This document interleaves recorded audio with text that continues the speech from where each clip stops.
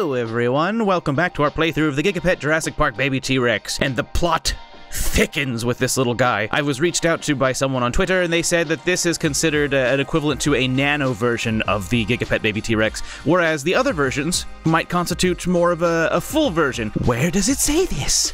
Does it? I mean, I don't have the package anymore, so maybe that's maybe that's entirely fair. But apparently, this one is just known to be difficult, so that's what I signed up for. That's what I. That's the one that I got. I guess is is the hard the hard mode baby. Um, their stats are good because I have finally gotten into the rhythm of this little guy. The rhythm is typically just constantly check them all the time. I had gotten sp- spoilt, I guess, used to the Digimon frequency of care, which was you know check on check in on them at like maximum every two hours, right? Like there's not really much that you're gonna miss. You can pretty much take perfect care of them if you check on them every couple hours. This guy, no. It, I still maintain that it's about 15 minutes, and it's been kind of difficult because guess what happened? I got rear-ended by a dump truck.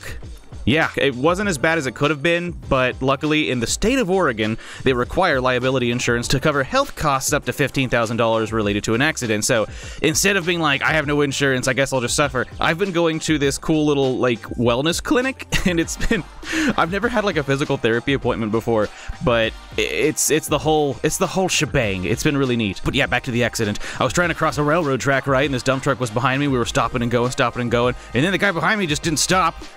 And then I was like, oh, here it comes. And my car is still running, which is also a blessing. I guess I'll just chalk it up to the fact that my car is from 1998. And uh, what did they what did they say about cars back then? They just made them out of sturdier stuff or something. Uh, from what I understand, that comes at the cost of the driver, though. Supposedly, cars are made to kind of collapse at certain points nowadays to minimize the impact that the actual driver feels. So I guess it's kind of a give and take on that situation. But my car's okay, and I'm okay, so don't worry about me too much. I was mostly worried about this guy, because this guy dies at the drop of a hat, you know? And when I when I saw it coming, I, I looked down at Baby Dino, and I was like, well, this could be the end for you, and possibly me. But no, it was okay. It was a little weird trying to take care of this guy during a physical therapy appointment, having a bunch of muscly men look at me weird and kind of side-eye me while I'm holding this little red thing going dee dee dee dee dee dee dee while I'm in the middle of laser therapy. It's um it's a new experience, but at least Baby T-Rex is getting to experience new things as well. So you know, good good for them.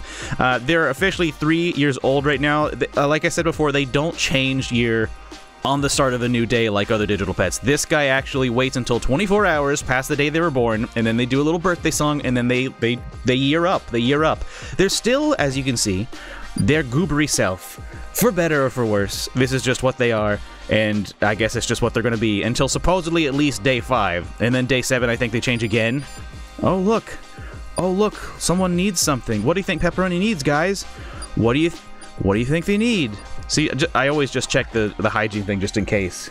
Just in case. Uh, another funny thing that I've identified about this device, and it's something that I guess it's advice that I would pass along to any of you out there that wants to try running the Gigapets Jurassic Park Baby T-Rex bad version is that sometimes they'll make a call care and you won't know what it is. You'll check everything. You'll feed them pepperoni, and you know if you get too caught up in the moment, you can accidentally feed them like like six pepperonis before finally they'll get sick. And I know exactly when it's coming now. I've I've been trained in the art of difficult dinos, and I know that when everything's taken care of, but they still have a care call thing, it means that within 20 minutes, they are going to get sick. And I think it typically has to do with when this health index goes down below 50, because that's the one that you can't directly influence. These are, you know, the happiness, the food, and the discipline you can directly influence. But if those get too low, regardless of score, if those get too low, the health will drop. And it seems to be when it gets around 43 or so, and then they'll start calling out, and then soon they'll get sick. You fix that up, and then you just try to keep their, their health index above that number. So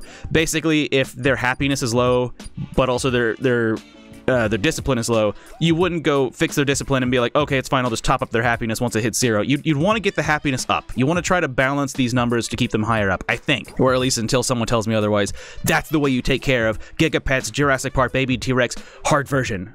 Let's go see what everyone's up to. Sneaks' Scatman has now become very groovy. I like it. It's a good look. Also, it looks if you scream into their head, it might amplify out into space. Flipmonic says they're going to try to go top line with their devices, and I'm not familiar with this one. I know this this kind of white shell, but not the, the gray thing. This must be somewhat custom, right? Must be, yeah? I love Agumon, though. It's a good sprite. I suppose that means they're going to be going for Omegamon, yeah? I mean, it's not a bad thing, but I feel like I've been seeing more and more people be like, no more Omegamon. But I would implore you, to back off of Flipmon X, okay? Let them enjoy what they want to enjoy. They've also got Piyomon over here, and then yeah, there's just a wonderful keyboard. And is that is that Digimoji? No, that can't be Digimoji. I'm crazy. Oh, Dragonlord says, after the passing away of my cat, I've picked up the X3 again to see if I can uh, finish unlocking all of the Mons. That's, first of all, sorry for your loss, Dragonlord. That's very sad. It's, oh, uh, that's that's awful. I'm sorry. But I hope that the X3 and little Bulkamon here can help distract you in the meantime. Oh, here we go. Elise, she shared a pic of her Gigapets Jurassic Park baby T-Rex, and then she actually just got this one in, and she's running them both at the same time to see if they're different. And already here, look, look at the sleep screens. This is mine, right, with a sleep screen, and then this is the other one. Looks way more Tamagotchi-esque, so there are obviously differences. I'm curious to know how far the differences go, how split the teams were that developed these devices. What was their design philosophy here? What were they going for? I'm so curious. So it's like if you have the the rice ball-ish shaped one, you get the full experience? Is that is that what I'm understanding? Because if so, it kind of, you know, I guess it's fine. Well, anyway, this T-Rex is my T-Rex. There are others like it, but this one is mine. In fact, I'm actually not convinced that there are others like this one. I'm not convinced that this isn't just a cursed one that uh, just needs to feed on pepperoni, which I'm going to find out later kind of like the woodsman and over the garden wall. I'm going to find out that those pepperonis were actually formed of children or something, and I'm going to be held accountable. I'm going to be complicit. Uh, are, are there provisions for people who were complicit unknowingly? Or does that just kind of violate the, the definition of complicit?